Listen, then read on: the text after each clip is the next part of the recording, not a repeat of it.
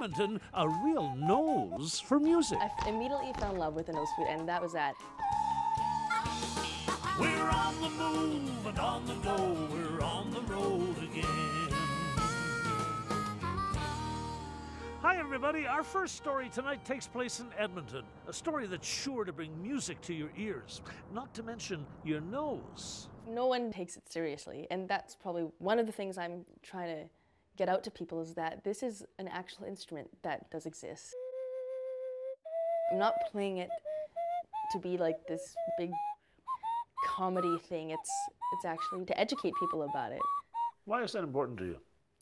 Well, I think it's it's it's such a shame that unique instruments like this one no one knows about. You're dead serious. This is an important instrument to you. Mm-hmm.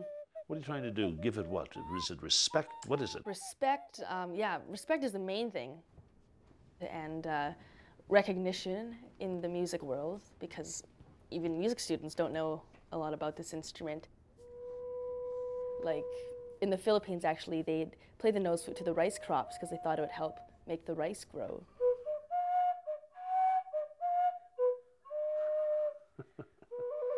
Wow. Now, usually, most players, what they'll do is they'll stick this piece of tobacco up their nose um, and leave one nostril open. So you have more air coming out of one nostril while you're playing the nose flute.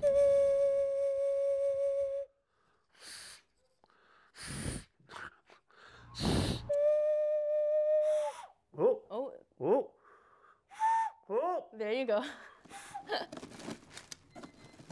How old were you when you were first introduced to the nose flute? I was 15 years old. What happened that day? I just like the fact that you can you're just playing this with your nose and it was just so absurd, which I loved. You know, I just was imme- I f- immediately fell in love with the nose flute and that was that. And I started playing ever since then. Bravo. You know, I played solo for a few years by myself, just at cabarets around the city and stuff. Okay, guys, everyone be quiet. Get ready. Get your nose flutes. Get on stage. We're going to start off with Mozart Symphony Number 40 in G minor. And then things just led to another, and now I have this whole ensemble. Okay, tune. What is the actual full title for the group? The Slappyfeatherwhistle Nose Flute Ensemble.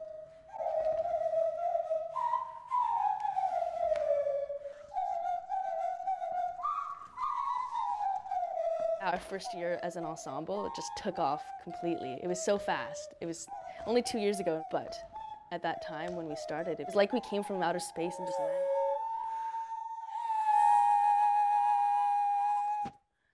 Love it! oh, well, thank you. I enjoyed that. That's fun.